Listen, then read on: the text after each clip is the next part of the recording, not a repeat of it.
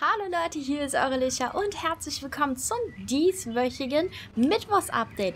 Ja, eine ganze Menge ist noch wegen Valentinstag zu tun, obwohl jetzt am 17. Februar ist der ja eigentlich schon vorbei, ne? Der Valentinstag ist ja am 14.2., aber ihr könnt immer noch die Valentinstagsquest in Jalheim bei Catherine und auch in Silverglade bei Donald machen und ebenfalls sind bei Derek jetzt neue Quests hinzugekommen. Und zwar hat er so ein paar Briefe irgendwie verschlunzt. Warum auch immer. Ihr solltet ihm auf jeden Fall auch helfen. Das gibt nämlich Spielererfahrung und vielleicht ja auch ein schönes Oberteil. Oh, hab ich jetzt etwa gespoilert? Oh, Nein, auf jeden Fall solltet ihr die Quests machen. Ja, was ist noch mit dem dieswöchigen Update gekommen? Der Pferdemarkt steht nicht mehr in Fort Pinter, sondern wird gerade in Silverglade aufgebaut und er wird nächste Woche eröffnet. Ebenfalls gibt es wieder eine neue Ausrüstung und neue Klamotten in der Mall. Sind auch schön wieder gekennzeichnet mit dem New-Button. Immer noch ein dickes, dickes Lob an SSO.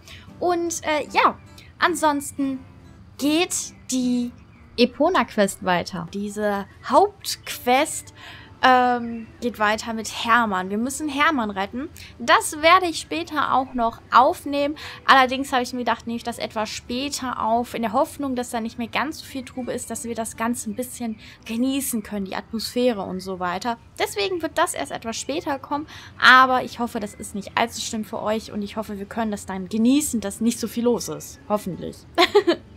ja, auf jeden Fall, damit ihr die Quest machen könnt, müsst ihr den ersten Teil der Epona-Geschichte absolviert haben.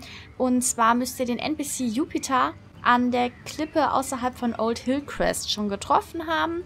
Und äh, dann könnt ihr auch mit der Quest weitermachen. Und ich bin auch schon wirklich gespannt. Ja, noch zu erwähnen ist, dass Star Stable in den News was geschrieben hat, was sehr interessant war. Und zwar kommt wahrscheinlich bald wieder die Fashion Week. Viele von euch kennen das gar nicht. Das war letztes Jahr in der Mall für so zwei Wochen ungefähr oder drei Wochen, ich bin mir jetzt nicht ganz sicher. Auf jeden Fall ist da wirklich eine Fashion Week dann in der Mall und äh, da kommt auch Raptor und so weiter. Also das wird so in, ja, vielleicht ein, zwei, drei Wochen kommen.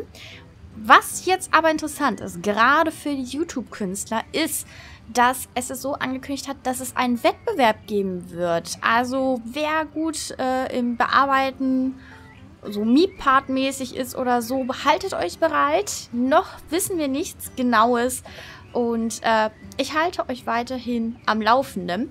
Und äh, ja, ich habe jetzt nur mal ganz kurz so eine News-Übersicht kurz gemacht und äh, alle Informationen findet ihr auch nochmal unten in der Infobox.